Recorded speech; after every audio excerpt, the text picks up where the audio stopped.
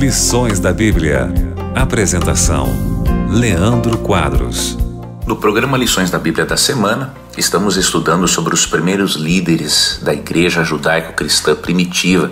Estamos aprendendo lições impressionantes com o estilo de vida deles, com a forma como eles viviam e pregavam o Evangelho. Hoje vamos analisar algo sobre a vida de Estevão. Estevão, amigo ouvinte, foi o primeiro mártir cristão registrado na Bíblia.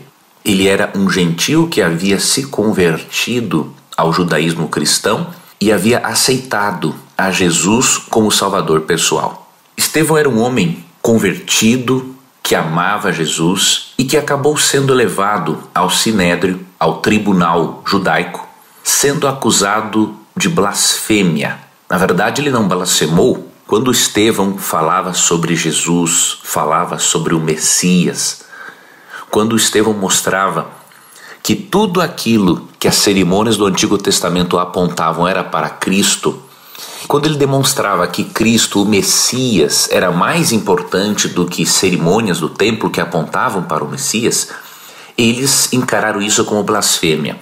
E até mesmo testemunhas falsas foram envolvidas no processo para poder acabar com a vida de Estevão.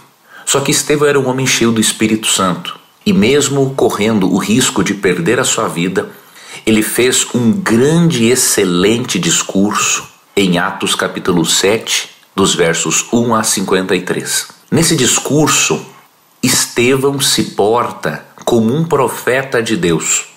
Nesse discurso, Estevão segue uma sequência parecida com a de outros autores do Antigo Testamento quando eles queriam apresentar o processo judicial de Deus contra o seu povo que não guardava sua aliança. Assim como o profeta Miqueias, por exemplo, Estevão faz uma descrição da aliança feita no Sinai, assim como Miqueias ele relembra as pessoas dos atos poderosos de Deus em favor de Israel, e depois ele apresenta as condições e as violações da aliança, quais são os resultados e maldições que isso traria.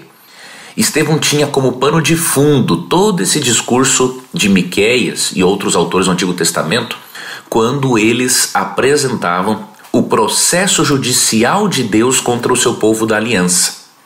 Estevão agiu como um reformador religioso dos dias de Israel chamava o povo a atenção para que retornassem à aliança, para que fossem fiéis a Deus. Estevão tinha, em todo o seu discurso, ele tinha como pano de fundo o processo judicial de Deus contra o seu povo da aliança. E quando Estevão apresenta o seu discurso, ele demonstra para os judeus no sinédrio que eles estavam sendo infiéis a Deus, assim como foi o povo de Israel. Ele queria demonstrar que eles estavam sendo ingratos e desobedientes a Deus por não aceitarem o Messias.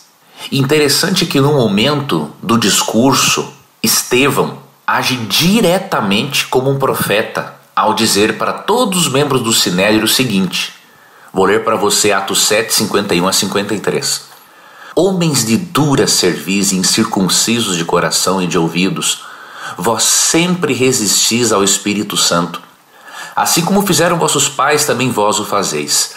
Qual dos profetas vossos pais não perseguiram? Eles mataram os que anteriormente anunciavam a vinda do justo, do qual vós agora vos tornastes traidores e assassinos, vós que recebestes a lei por ministério de anjos e não aguardastes. Estevão foi direto no ponto ao dizer que eles eram pessoas de pescoço duro, incircuncisos de coração, não estavam convertidos. Estevão disse que eles resistiram ao Espírito Santo, assim como os israelitas, vários israelitas no passado fizeram e não foram fiéis à aliança. E ainda disse que eles estavam sendo traidores, porque não estavam aceitando o Messias profetizado no Antigo Testamento. Eles não estavam entendendo a própria lei a qual eles defendiam.